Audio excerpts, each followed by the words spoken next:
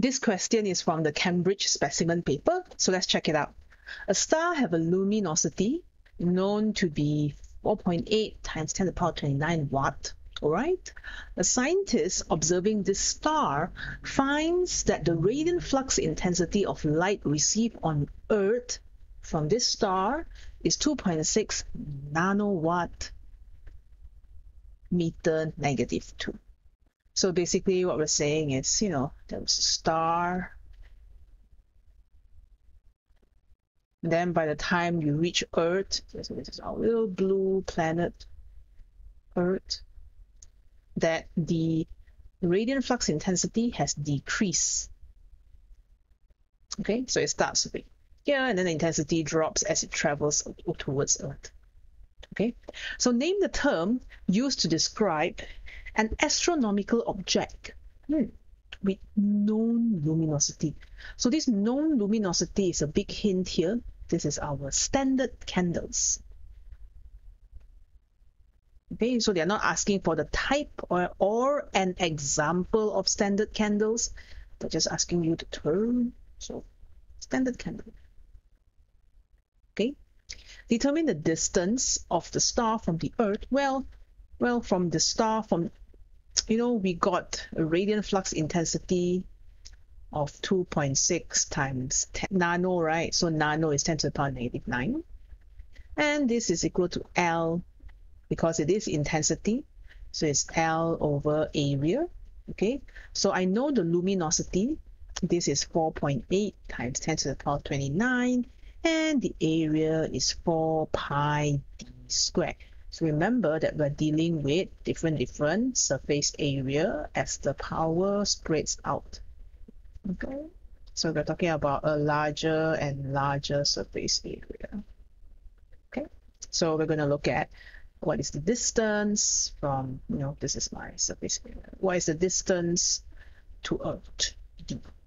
So pretty straightforward. Quote the equation, okay, and then solve the equation by finding D. So if I press my calculator, this is 3.83 times 10 to the power of 18 meters. And you would probably want to write this in two significant figures because all the values given here is 2SF. 2SF. 2SF. We will also write 2SF. Okay? All right, that's it. Okay, moving on. But no problem if you write an extra SF, not a problem. All right, so part B. The sun, okay, our good old sun, has a surface temperature of 5800 Kelvin and the lambda max for the, for the lambda max of light for which the maximum rate of emission occurs from the sun is at 500 nanometer. Okay, the scientists observing the star in A, okay, still the same star that we talked about just now, there was 3.8 times 10 to the power 18 meters away from us finds that the wavelength for which the maximum rate of emission occurs at 430 nanometer. All right, part one. Show the surface temperature of the star is approximately 6700 Kelvin. Explain your reasoning. So obviously, if I see wavelength and I see temperature, I think of Wien's displacement law. So just name drop, casually name drop Wien's displacement law, where our lambda max is, uh, you know, directly proportional to 1 over t. So this means the wavelength of the sun divided by the wavelength of, I guess, our star will be equal to the temperature of the star inversely proportional divided by the temperature of our sun. Nice. All right, so the lambda of sun we have, just draw a line here, 500 nanometer divided by 430 nanometer. This will be equal to the temperature of the star divided by 5800. So by rearranging, I can find the temperature of the star would be 6740. 6740, okay?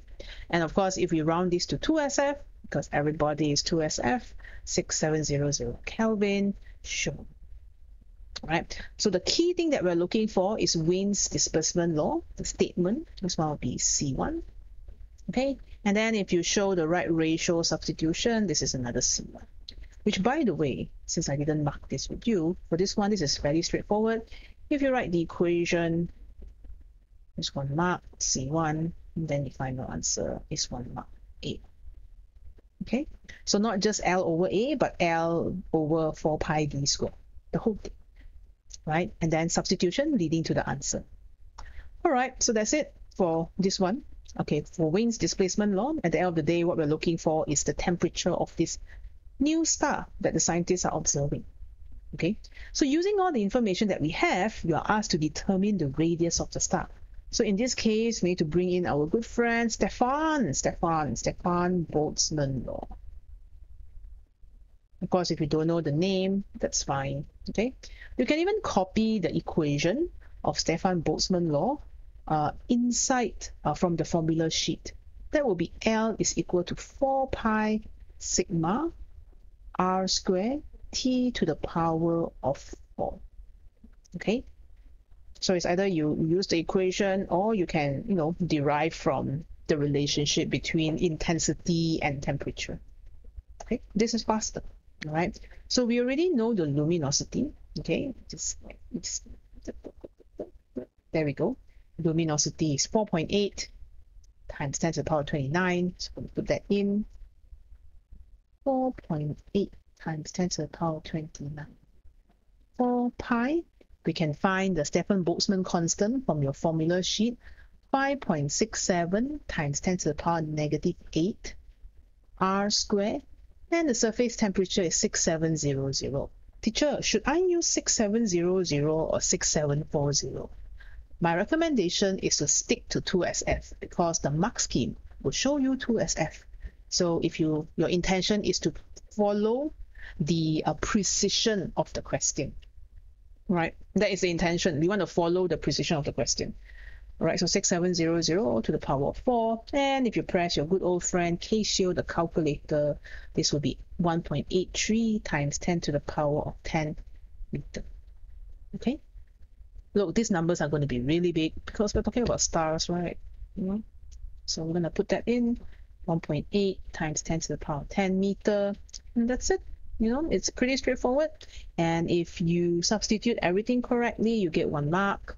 And if your final answer no calculator error you get second mark. That's it for this question. Pretty straightforward. So remember everything is linked in your study of astrophysics so far. From luminosity L to radiant flux intensity F to the distance of the star to the surface temperature, wavelength, and finally the radius of the star. Okay, so if you haven't yet, pull out a piece of paper, write down the equations, and figure out how they are related to each other. And I'll see you in the next video. Bye-bye.